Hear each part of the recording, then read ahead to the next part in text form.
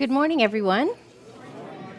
Welcome to St. Mark's for this second Sunday of Advent. It is good to be here together to worship, and no matter how that happens, whether you're here in person or whether you're joining us online, it is good to be together. Uh, and I thank you for taking the time to worship with us. In recognition of those who walked this land before us here in Simcoe County, we acknowledge that we gather on the ancestral territory of the Anishinaabeg Nations, the Ojibwe, Odawa, and Potawatomi, who collectively are known as the Three Fires Confederacy.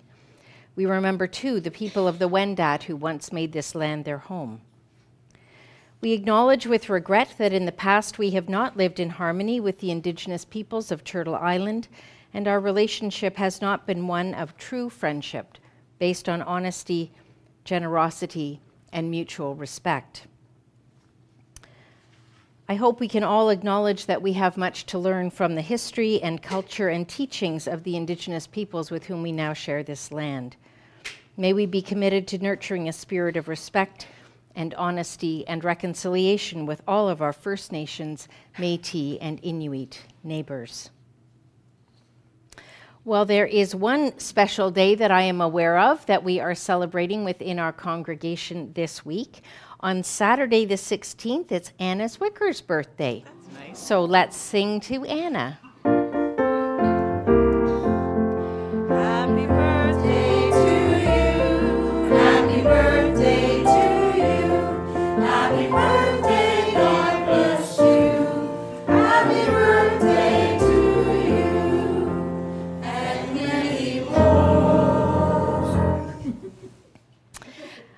This week, there are uh, several, act, uh, or a few activities anyway, that are happening within our congregation. Uh, Knit One, Pray Two continues to meet on Tuesday morning. Last week, it was like Santa's workshop here as we were making, uh, making the decorations. They're not on the tree yet, but they will be, um, for our tree that uh, everyone gets to take one home on Christmas Eve. Um, and on Wednesday morning, the women's breakfast out at the curling club at Barnfield Point. That's going to happen at 8:30. So uh, come and tell your friends and and bring a friend with you, and it will be a delightful time to catch up. On Thursday. Um, so you have you get breakfast on Wednesday and then you go home and bake because Thursday is when you deliver all that baking to the church for our cookie uh, carryout, which is happening on Friday. So if anyone has been busy baking, and I hope everyone has, um, you can drop off your cookies and squares to the church Thursday. What time, Lori? Anytime after 10. Anytime after 10. And Lori promises not to eat them all. There will be some left for the trays. Um, a reminder that next Sunday evening, on December the 17th, we have our longest night service and that is particularly designed for those who will find Christmas to be a difficult time this year. It could be for any number of reasons, but just anyone who might be having a hard time with Christmas. So if you know of anyone who that fits that description, um, I would ask that you would invite them to come with you to that service. I know that it can be hard to walk into a building you may never have been in before and not know a lot of people by yourself, especially when you're feeling vulnerable. So, if you know of someone uh, who would fit that description, please invite them to come and bring them with you and be a support for them. Um, I want to thank you all for your gifts of love for the families of Harriet Todd who are having a difficult time providing for their kids this year. If you look over here, you can see the overflowing abundance with which we responded to Lori's invitation um, to bring in warm clothes and winter clothes for adults and kids, uh, mostly kids. Um, and Lori will be delivering them tomorrow to, uh, to Harriet Todd. So thank you so much for your generosity. And thank you to Lori for heading up this initiative. And finally, a reminder of our Advent challenge. There are um, little books out on the front table if you haven't picked one up yet. But we, the session has chosen three ministries to support um, as, as we as a congregation can give together uh, to support them at Christmas time. This is something we do each Advent. And this year we are choosing uh, to replant olive trees in Palestine. As you can imagine, um, this time has been difficult not only for the people in Palestine, but also for the olive trees, which will, will grow for generations and generations, and they have many of them have been destroyed during this time of war, and, and it, they are a source of livelihood for so many people. So we will be uh, supporting the replanting of olive trees, uh, food sustainability in various areas of the world through Presbyterian World Service and Development, and also we're going to be supporting Indigenous ministries here in Canada. So if you would like to participate in our Advent Challenge this year, please mark uh, your envelope with the words Advent Challenge and designate how much is to go towards that Advent Challenge. Irene, is, are there any other announcements?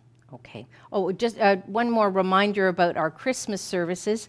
Just you, so you can plan for you and your family, this Christmas Eve service uh, will happen at 5 o'clock this year. We're moving it up a little bit earlier, so it's a little maybe a little bit lighter um, when you come to uh, to worship. We will also be having a service that morning as it is Sunday morning. So that will be Advent 4 in the morning and Christmas Eve at 5 o'clock. Let's take a moment now just to quiet our hearts and minds as we prepare to worship God.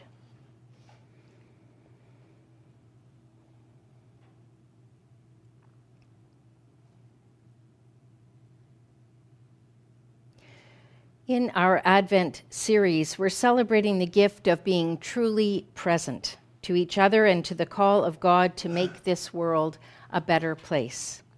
We can be the gift of presence with those who are experiencing life as less than peaceful. But this might also be true of how we are personally feeling in this moment. Our lives can feel a bit chaotic or in need of a makeover. The good news is that God is continually making a way for do overs. In this week, we can find peace even when life doesn't feel so peaceful. This week, we focus on what it means to be a gift of non anxious presence for those who need it the most.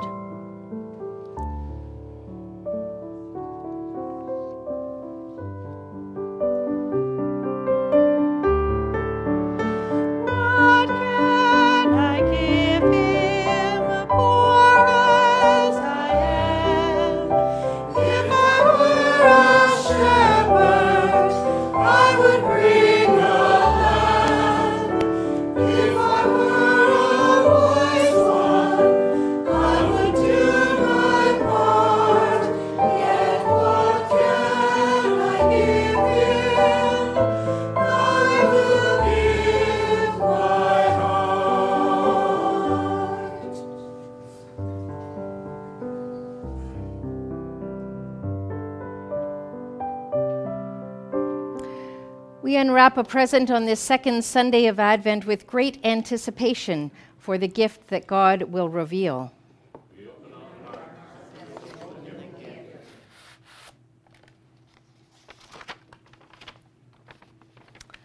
The promise of peace is the divine gift we receive. The gift of peace reminds us that we can have serenity even in the midst of non peaceful situations. Peace is not simply the absence of conflict. Peace is an ever present gift that we can open at any time when we stop and breathe and trust that we are never alone. And the gift of peace we can give is to be present for those who feel alone.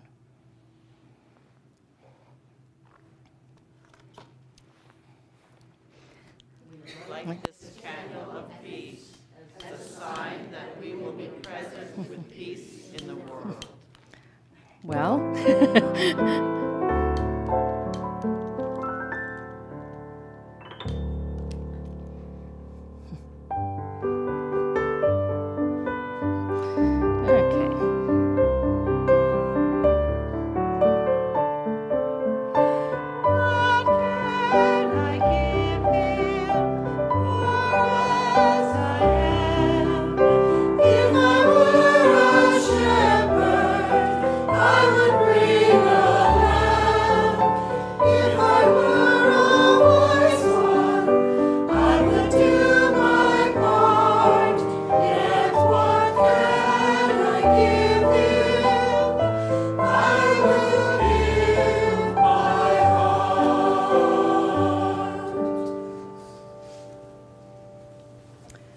Please join with me in prayer. Let us pray together. Holy, living light of God, you are our peaceful presence. Let this peace grow in our lives each day so we can be a present of peace to others. Unwrap and open our hearts. May it be so. Amen. Our first hymn is O Day of Peace, which is number 732 in our book of praise. And if you're able, I would invite you to stand and, as we sing together.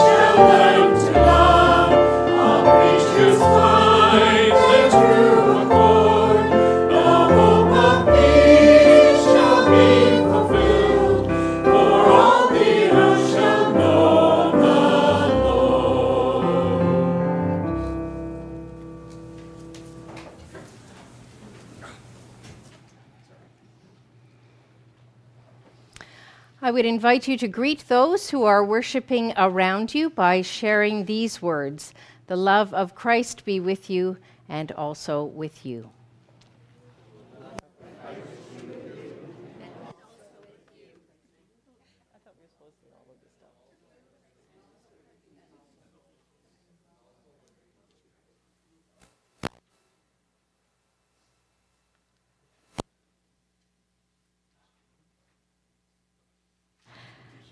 Now I'm going to invite you to come forward for a little time with me, if you would like, Brianna.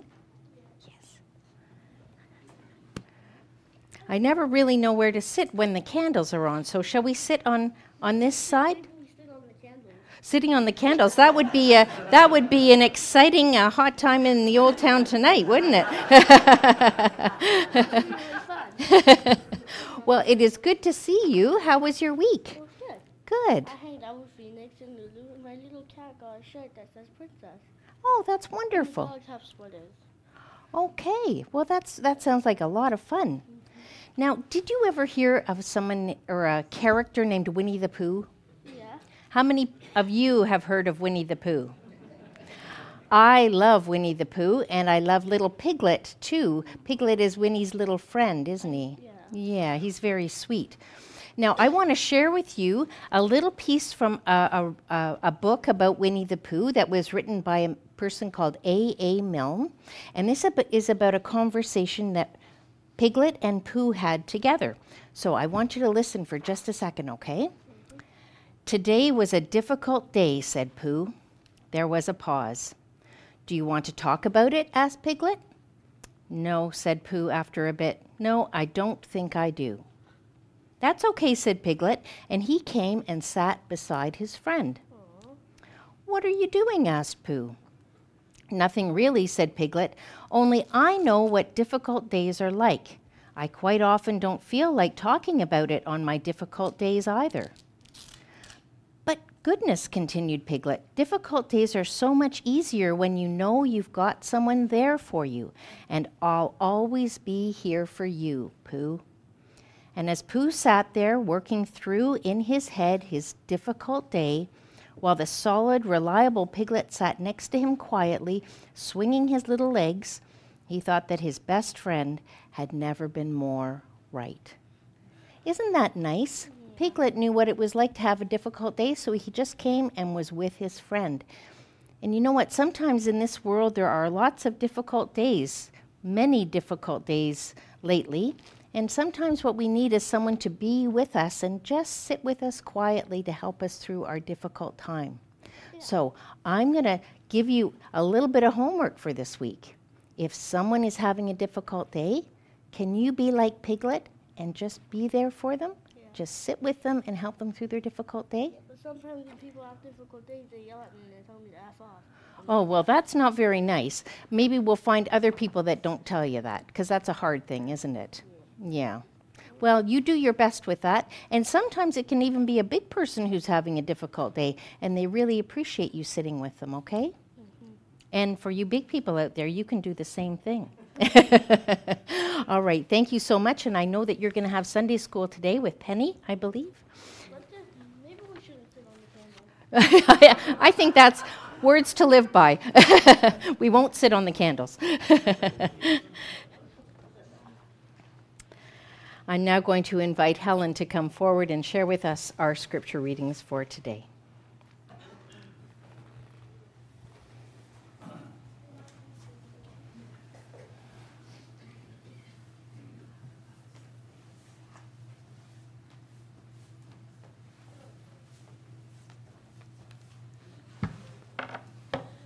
When I was here the last time, I told you there might be uh, questions after the, the sermon. Well, so much for pulling a joke on the, the new guy up here doing the scriptures. There was no questions. So there won't be any questions today either. The scripture readings are Isaiah 40, 1 to 11, and 2 Peter 3, 8 to 15a.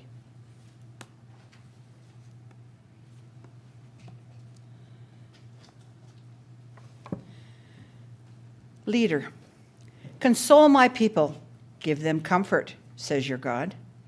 Speak tenderly to Jerusalem's heart and tell them that this time of service is ended. A voice cries out, Clear a path through the wilderness for Yahweh. Make a straight road through the desert for our God. Let every valley be filled in, every mountain and hill be laid. Let every cliff become a plain, and the ridges become a valley. Go up on a high mountain, you who bring good news to Zion. Shout with a loud voice, you who bring good news to Jerusalem.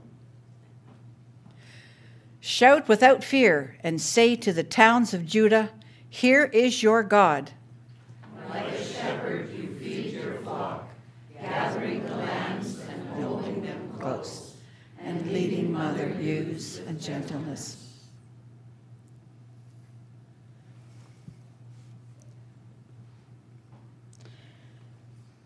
The prophet Isaiah lived in a time of exile perpetrated on the Hebrews by the Babylonians.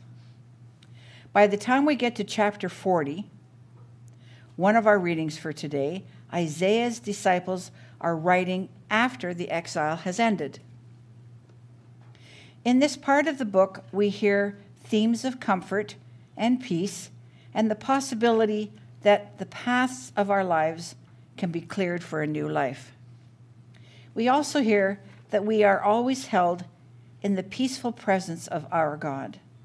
Let us read these excerpts responsively. we already did that, didn't we? Shows I'm not paying attention. The new churches of the first century church were encouraged by the writer of the letters called 1st and 2nd Peter. These churches were living in a confusing time as they struggled with the belief that Jesus' return was imminent, but was not yet coming to fruition. In our reading today, the writer invites them to wait with peaceful hearts, even in the midst of what feels like chaos. Hear this excerpt from the second letter of Peter. This point must not be overlooked, dear friends, in the eyes of the Most High. One day is like a thousand years, and a thousand years are like a day. God does not delay in keeping promises, as some mean delay.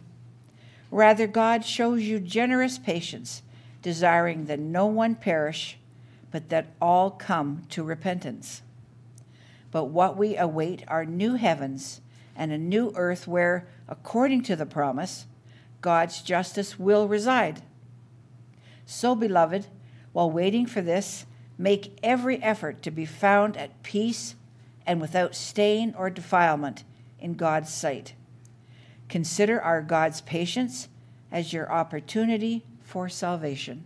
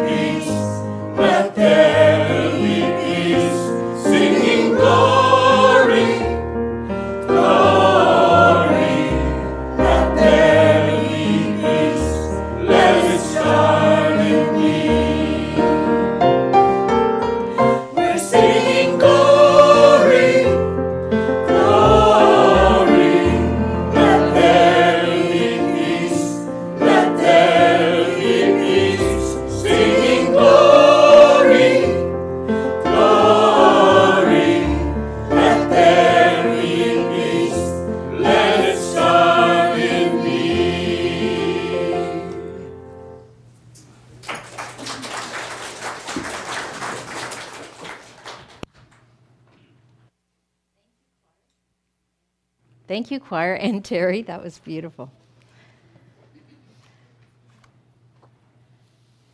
The second gospel reading of Advent from the Gospel according to Mark is from the very beginning of the book, setting up the idea that this story of Jesus will be a transformative experience. Drawing on the prophet Isaiah, Mark tells his readers that God is making a way in the most difficult of places clearing open paths in the desert places. John the Baptist shows up in Advent, as he typically does, a sign that the time has come when the Messiah, born of the Spirit, will be present among us. Listen now for the word of the Lord. Here begins the gospel of Jesus Christ, the Son of God. As it was written in Isaiah the prophet, I send my messenger before you to prepare your way a herald's voice in the desert crying, Make clear the way of our God, clear a straight path, up a straight path. And so John the Baptizer appeared in the desert, proclaiming a baptism of repentance for the forgiveness of sins. The whole Judean countryside and all the people of Jerusalem went out to John and were baptized by him in the Jordan River as they confessed their sins. John was clothed in camel's hair and wore a leather belt around his waist, and he ate nothing but grasshoppers and wild honey. In the course of his preaching, John said, One more powerful than I is to come after me. I am not fit to stoop and untie his sandal straps. I have baptized you in water, but the one to come will baptize you in the Holy Spirit. This is the gospel of our Lord Jesus Christ. Thanks be to God.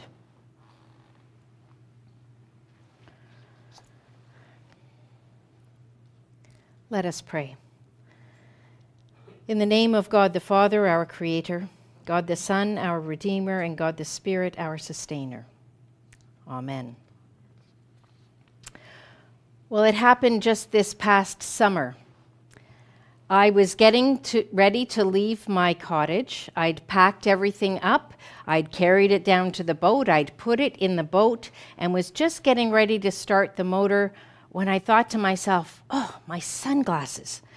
And so I said to my kids, I forgot something. Just give me a second. And then I left them all in the boat, kids and grandchildren, while I ran up the hill, or at least as close an approximation to running as I get these days. And I looked on the porch, and there were no sunglasses. And I unlocked the cottage, and I went in and I looked in all the usual places, and again, no luck, no sunglasses. Well, I didn't want to keep them all waiting too long, so I resigned myself to the fact that I would be without my sunglasses until I made it back to the cottage. And I walked down the hill to the boat. And someone asked, What was it you forgot? And I told them I was looking for my sunglasses. And I think all of my grandchildren at once said, You mean the ones on your head? I had probably spent 10 minutes looking for something I already had, something that was as close as the top of my head. Now, as I was remembering that rather embarrassing incident, I was reminded of a story that I heard from a colleague a few years ago. It happened to him even before the advent of cell phones. And he was waiting, uh, a friend of his was coming into town, and they'd agreed to meet at a hotel. Um, at, and they were going to meet in the lobby of this hotel at about six o'clock. So he arrived a few minutes before six and he got a seat in the hotel where he could keep an eye on the entire lobby and on the front door because he didn't want to miss his friend. At 6:30, there was no sign of his friend. At 6:45, he was starting to worry that something may have happened to his friend. And then at 7 o'clock, a hotel employee approached him and said, Are you Reverend Michael? And he said, Yes. And he said, Well, your friend is here. And he said, But that's impossible. I've been here for an hour waiting for him, and, and I haven't seen him. And the employee of the hotel said, Sir, this is a very large hotel, and we have two lobbies. Michael had been waiting for someone who was already there. He was looking for someone who had already arrived. Now, in many ways, these stories remind me a bit of Advent. In the Christian tradition, we start each new church year with the season of Advent, four weeks of waiting and preparing for the incarnation, for God coming to the world in the person of a tiny baby, the Christ child. Four weeks of watching and waiting and hoping and praying. Now, our Advent season is a curious thing because it's the kind of waiting and watching my friend was doing in that hotel. We're waiting for someone who's already here. We're waiting for Christ who is present here through the power of the Holy Spirit. Advent scriptures tell us to watch and to look, but like my sunglasses, we're looking for something we already have. The one who saves us is already in our midst through word and sacraments, through this community of faith. God's Spirit is already among us. Now, you may recall that two weeks ago on Christ the King Sunday, the last Sunday before Advent, We heard that the Savior we're looking for is right in front of our eyes, and we're called to see him in the hungry and the thirsty, and the naked and the ill and the imprisoned.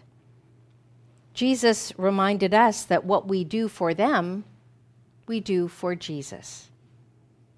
For the people Jesus was speaking to that day, that came as a surprise. And for many today, that message is also a surprise every time. Well, as I have said, the word Advent means coming or arrival. And during these four weeks before Christmas, we're waiting and focusing on different ways that Christ comes into this world. As Reverend Renninger says, we know that he came to us at Christmas, born of Mary, greeted by Magi. Christ has already come, and we know that he's coming again in glory. The scriptures assure us that he is coming again to settle accounts and reveal the truth. And Christ is present in your life and in mine right now, each day. The coming one is already here. Are we paying attention to where God is showing up in our lives? Or are we missing connecting with God who is as close as those sunglasses were on my head? Diana Butler Bass, who I have mentioned to you before, writes in her Advent series about the nearness of God. And here's what she says Near is about both time and place, both imminence and immanence. There's one letter difference, but the meaning of the words are very different. Imminence speaks to God's immediacy, and immanence reveals a God who dwells within. The God who is both imminent and immanent in our lives was also present to Israel thousands of years ago during one of the very difficult times in their history. They'd been conquered as a nation by Babylon, and many had been taken captive to live in a foreign land. They were in exile. And then God speaks to them through the prophet Isaiah, and the first word God says, this is what Helen was sharing us with us this morning, the first word God says is comfort. Give comfort to my people, says your God. And then Isaiah goes on, speaking tenderly to Jerusalem. Or uh, he says, Speak tenderly to Jerusalem and say, Your sins are forgiven. Every valley shall be filled in, every mountain made low, and the glory of the Lord shall be revealed. You can almost feel the hope of God's people beginning to rise up within them with those words. And yet, I think you can't blame them for asking, well, when is this going to happen? Where should we look to find the one who brings comfort and hope? When is it coming? Where is this God? If we keep listening, I think Isaiah tells us that the one who will heal us is already here. In verse 9, we hear this Go up to a high mountain, lift your voice, say to the cities of Judah, Here is your God. Here is your God. Not just in some wonderful future, but right now. Here is your God. The shepherd who gathers us in his arms and carries us home is here. The people were already in his arms and so are we. Yes, the people of Israel had lost so much, and their world was confusing and strange, and I'm sure God felt far away. But the God who saves had not gone anywhere. Again, to quote Reverend Renninger, the people had wandered away from God, but the Lord was with them in their suffering in their exile. God was already with them.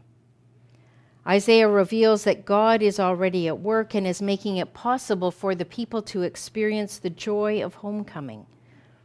They were looking for a Lord who was already there. When John the Baptizer appears in the wilderness east of Jerusalem, he announced that one more powerful than he is coming, one who would baptize with the Holy Spirit. That one is coming, says John.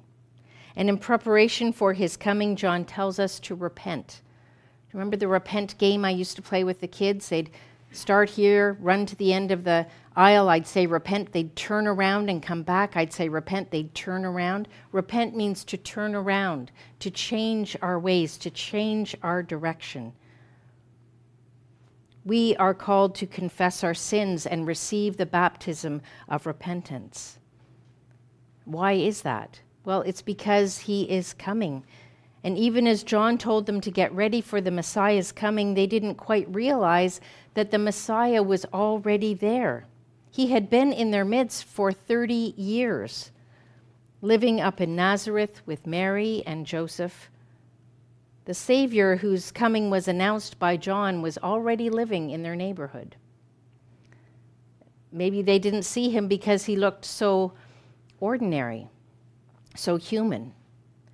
Many people in our world wonder where is God and when is God coming to straighten out this mess we've made of things? Today is the second Sunday of Advent, as I said, the Sunday of peace. There is incredible peace we can all access when we remember that God is with us. We are not alone even when we are in the direst of circumstances, when we're scared, when we feel so alone, we're not. God is as close as those glasses on our heads. Closer, in fact, because God has chosen to dwell in each one of us, deep inside, in our hearts. And you can't get much closer than that. Now, I don't know if you've ever seen a video of a storm raging above an ocean.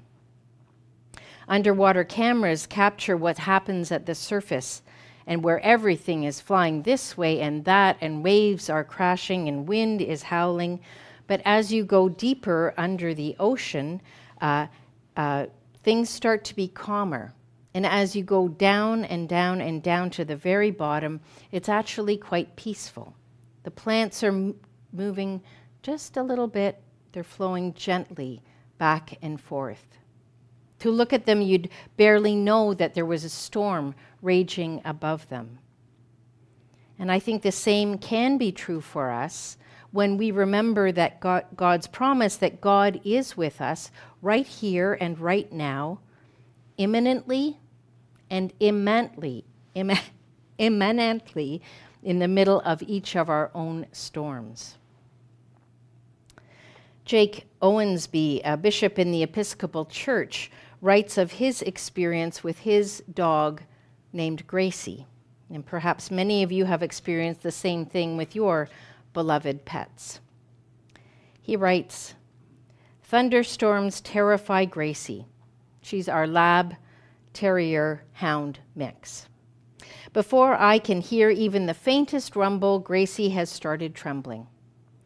Looking for comfort, she usually crawls up into my lap, and I hold her and gently stroke her back until the storm blows over. You're okay, I tell her. I've got you. Now, dog time and human time are different. The gift of being a dog is that Gracie tends to be completely absorbed in the moment. When we're playing with the ball or walking in the woods, she's all in. There's no fretting about tomorrow's plans or stressing about a looming deadline at work. She's totally present in the moment. The downside of Gracie's sense of time is that she can't put things in a broader context. When the wind blows and the lightning flashes, all she knows is the storm and her terror. By contrast, you and I may dislike extreme weather, it might even scare us, but we do have the ability to put it in perspective. That's because we have a sense of the past past and the future, and we know the storm will pass.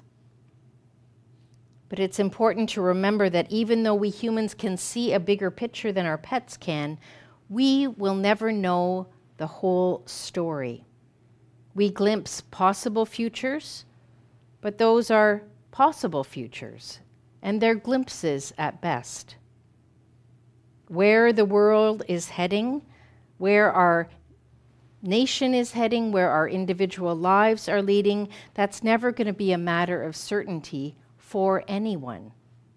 No amount of education or sophistication provides humans a completely reliable crystal ball.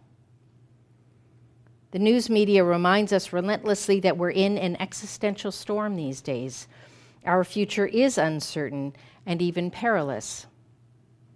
Climate change, geopolitical shifts, the rise of authoritarianism abroad and at home, foreign wars and domestic violence, economic uncertainty, and we are not sure how any of this is going to turn out.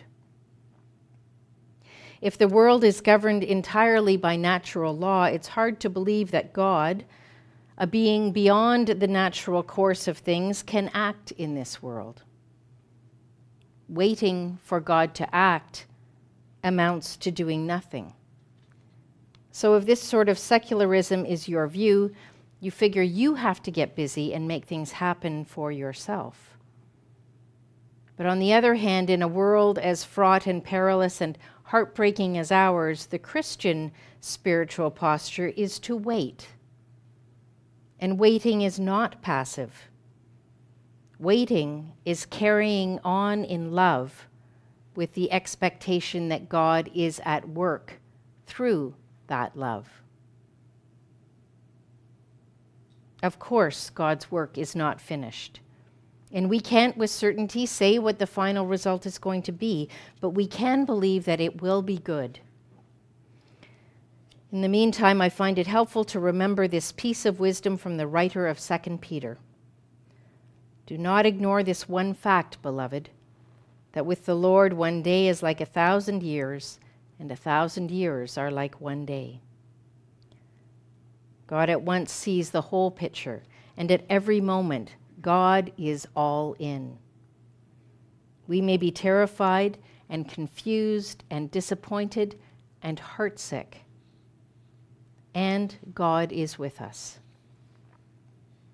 The heart of waiting is to listen, to listen closely for the Word of God. And it sounds something like this You're okay. I've got you.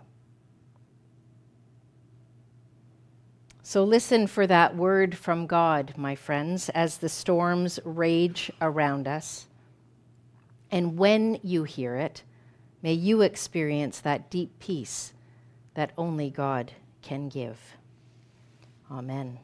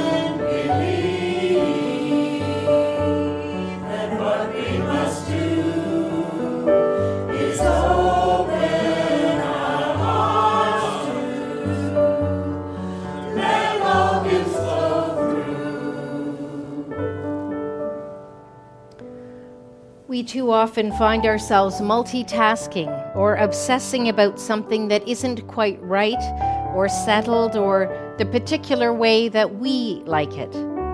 We're very accustomed to a preoccupied mind that has little peace. In this season, we'll give ourselves a respite from this pace as we slow down in this prayer time, taking on a more peaceful rhythm. We'll begin our prayers with three questions, each followed by a short silence. Focusing intentionally on thoughts and memories can be a kind of prayer, bringing our lives into a conversation with the Holy. So I would invite you to take a deep breath in and out and close your eyes if you are comfortable doing that.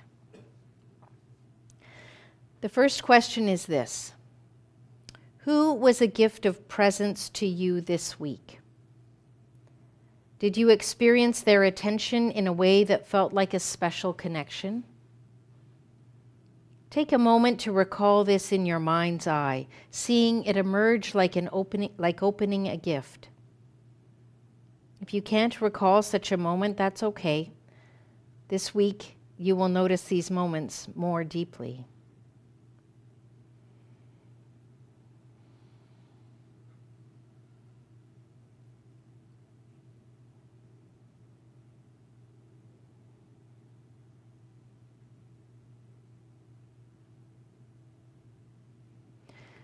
The second question is this How did you offer yourself as a gift of presence?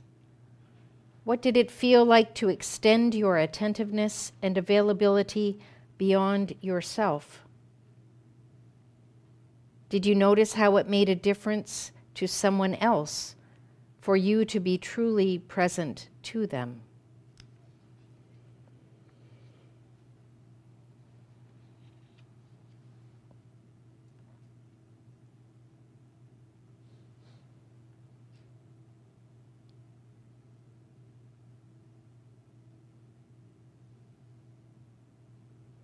The third question is this Is it possible that God's presence is felt more acutely in these moments when we truly tend to one another?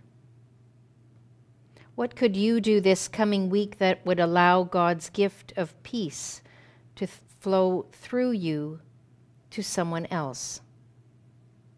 It may be as simple as finding opportunities to speak an encouraging word or as complex as actually lifting up someone's circumstances through volunteering or donating.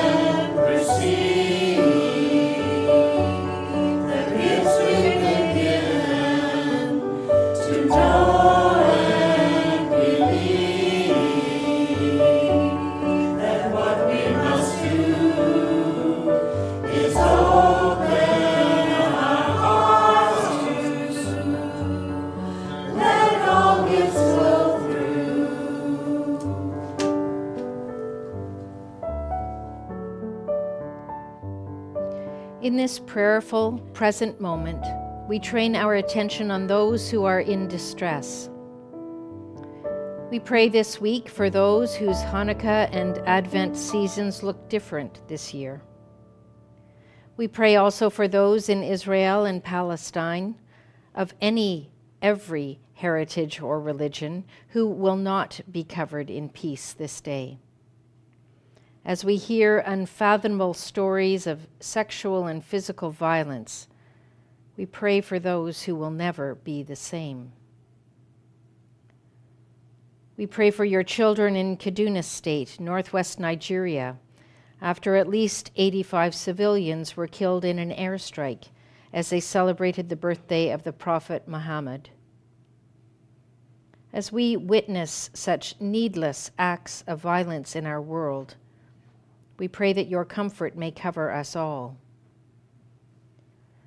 We pray for comfort for those everywhere as natural disasters and weather effects, uh, events affect the lives of so many throughout the globe. We pray for those who are fearful, even when they are in their own homes, for whatever reason. Comfort them, Lord. And we pray for those who are experiencing ill health of body, mind, or spirit. Be with them and bring them comfort and peace as only you can. In this prayerful present moment, we train our attention also on thanksgiving and joy. We give thanks this week for the overflowing love boxes in our midst. Thank you for each of the givers. We pray for those who will receive our gifts of love, that through these gifts you may be very real and present to them. In this prayerful, present moment, we ask you, Christ Jesus, the greatest gift of all, to help us savor our journey toward the celebration of Christmas. Help us recognize and create moments of sweet presence rather than filling the voids with things that do not last. Help us to stop and notice what we're experiencing and accept it with open hearts and minds. In doing this, we allow you to meet us in the right here, right now, right where we are. Amen.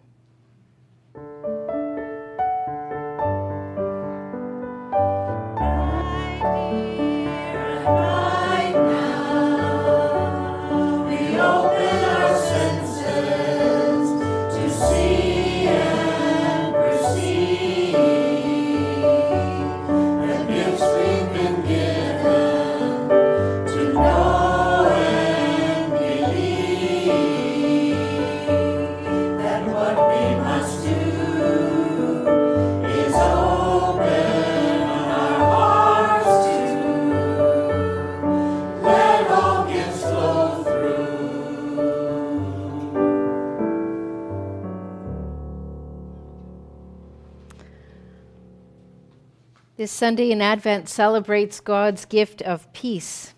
When we look around the world, we see so many places where peace is missing in neighborhoods and within nations. But because we know the gift of God's peace, we can trust that our gifts will help to restore true peace to souls and situations through the power of the Holy Spirit. Our offering will now be received.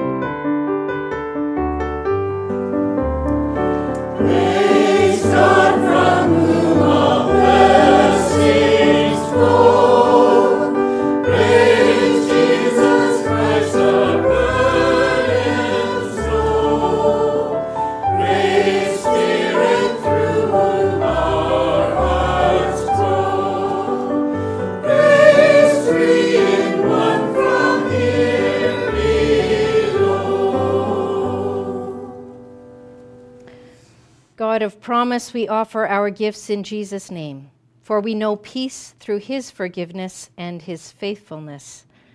Bless our gifts and bless our lives. Help us to share the peace you offer with lives that touch ours throughout this world you love.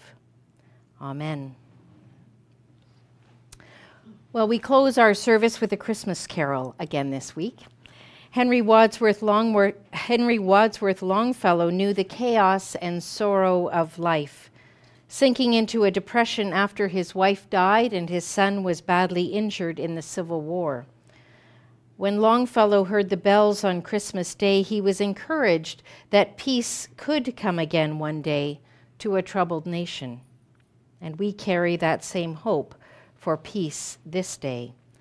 Going to sing now, I Heard the Bells on Christmas Day.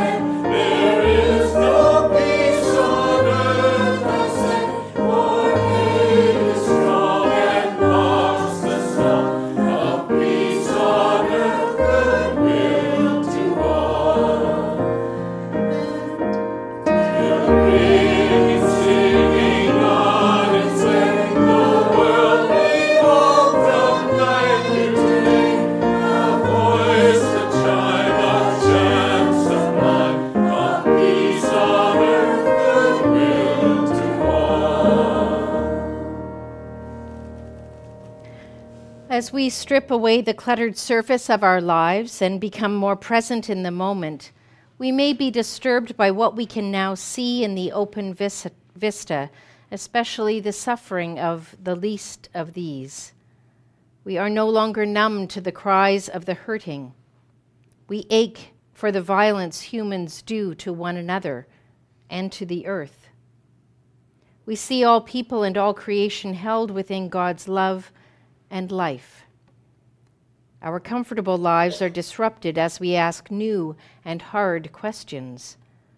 But being more mindfully present will also bring a greater awareness of God's presence and peace and clarity in the midst of it all. So go now and be truly present, so you may be a gift of presence to others. That's all that is expected. That the gift that is you is the best gift you can give. In the name of the Holy Presence, the divine gift, and the spirit of peace that is just waiting for us to unwrap abundant life. Amen.